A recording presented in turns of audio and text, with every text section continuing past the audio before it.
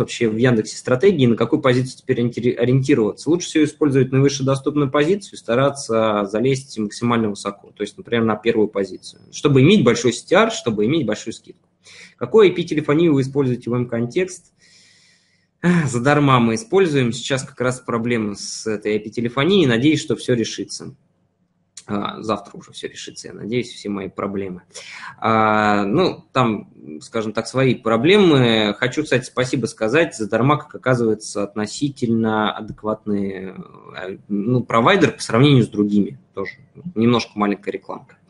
А, ниша двери и полы, есть ли смысл запускать ретаргетинг ВКонтакте или просто поставить возраст 25-30 э, лет и на мейле? Ну, это ширпотреб, почему нет? Можно. Попробовать можно. Ну, просто на мейле минимум надо закинуть четверку, по-моему, или трешку, не могу вспомнить минимум.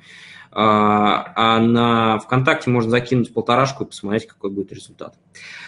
А, есть компания ретаргет на, на посещение сайта. В сутки посещает 100 плюс человек. А, по компании ретаргета здесь показывает за 10 дней. Почему так мало? А, цену ставил 30 рублей, в поддержке говорят, что ретаргет настроен корректно. Значит, мало людей посещает. Надо посмотреть, сколько народу посещает сайт. Как бы смешно не звучало. Тоже не написано. А, в сутки посещает 100 плюс человек, извините, уже пропускаю. Чувствуется, что уже почти час в Таиланде. Сутки посещает 100 плюс человек. Надо посмотреть, какие цели настроены. То есть, возможно, в компании ретаргета что-то не так настроено по целям. То есть, какие-то цели достигаются и не показываются большой части аудитории. То есть, надо смотреть именно разбираться по целям, которые вы настраивали в ретаргетинге. Какой бюджет минимум по рекламной кампании с жалюзи и рулонной шторы в Москве? Я бы сказал очень большой бюджет, но вы меня не поймете.